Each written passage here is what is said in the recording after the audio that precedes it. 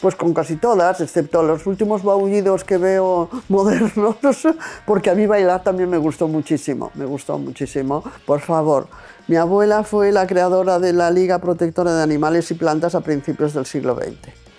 Y aún, aún me duele pensar que todavía hay corridas de todos muchos, pero me gusta mucho si lo hacen bien. El histórico, también eh, las, novelas de misterio que se han, se han transportado al cine, como Agatha Christie y otras, y desde luego ojalá hubiera un cine en España que nos reprodujera la historia nuestra, la historia de nuestro país, porque esto es un vacío horroroso. Yo ahora lo que querría es pintar que me dejaran en paz, y alguna cosa tengo aquí, y mm, irme a Bolonia a estudiar pintura, es lo que yo querría. Más bien le haría un discurso para que cambiara su manera de actuar, ¿no?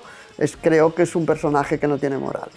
Bueno, a Pablo Iglesias procuraría no insultarlo, pero le haría otro discursito también sobre la farsa, la farsa, un personaje que es un cantamañanas. Bueno, en realidad podría decir que muchos, no mejor, porque yo tuve una familia extraordinaria. Yo me reuní en una familia que tenía mm, seis mujeres y mm, ha sido el, mejor regalo que me ha hecho el destino. ¿no?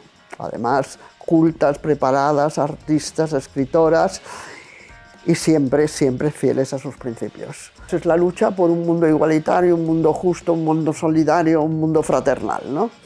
Em, para acabar con todas las diferencias, las injusticias y las explotaciones, todas, no solo las de las mujeres, aunque naturalmente las mujeres tienen sus propias y específicas reivindicaciones. Y sobre todo, si es una chica, ¿verdad? Decirle que como no se una al feminismo, ya verá el futuro que la espera, ¿no? El de Domènech, el filósofo catalán, murió, que es el de la fraternidad.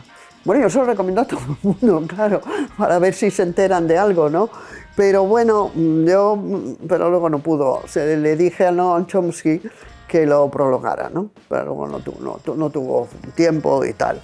Y este es un personaje que me parece todavía respetable.